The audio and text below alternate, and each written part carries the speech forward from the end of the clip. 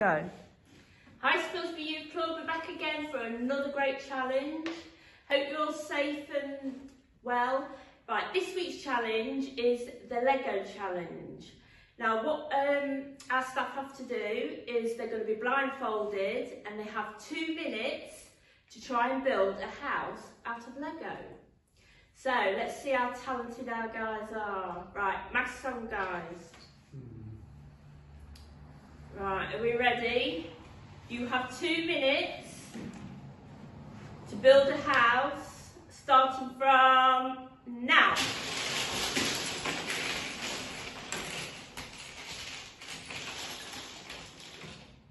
This is going to be really interesting to see what they all build. A house, that's I can't find bricks. See the concentration in their faces. What if I could see? Is that a house? I've got some. uh, Come on, guys. This ain't good. I've got a bit of fun to go. I found a brick. No, I didn't. Get it. Oh, this ain't going good. This ain't going good. We've got some peculiar um, shaped houses going on here. Oh, What's that? I've got a tiny gap in the bottom of my neck. I'm really trying not to look out of it. one, one, Come on, guys, get these houses built. Mine ain't sticking. It's a Lego brick, not You've had to stay for a minute, guys. Oh, what? No! What's the favourite? Okay, come on. Whoa, Peter and Jack are going for it now.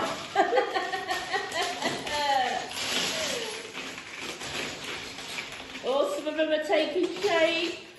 Oh, I'm just putting bricks on it now. I don't even care. I can't even find bricks. 30 seconds left. Yeah, exactly. Bricks, bricks, bricks. Oh, that's not bricks. Can I put them on now? One, 20 seconds. What, not one Yeah. minute? Oh my god. No. Let's try like four minutes next time. Five maybe. Just, I'll put that on. Right, you've got five seconds. Four, three, two, one. Stop filming. That's actually alright. Wow. Right, clear the Lego away and hold your boards up. Well, it's all the front of it, so that actually looks alright. But yours doesn't have a little Oh. chimney on it. Right. What we would like you to do, good effort, guys, good effort. Yeah. Um, is oh, we would like you to send your messages in to tell us whose is the best house. We've got Jack's here. Yeah. We have Brogan's. Well, front of the house. Casey's got a door. We've got Keita and Keita is cheating. and we have Bailey on the end here, look.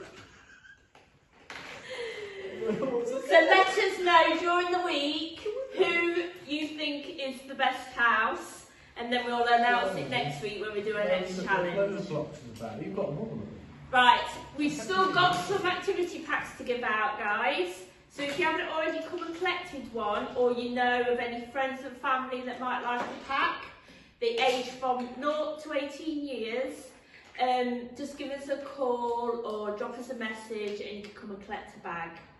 Okay, so stay safe this next week, and we'll see you again next week for another exciting challenge. Bye guys. Bye. Bye.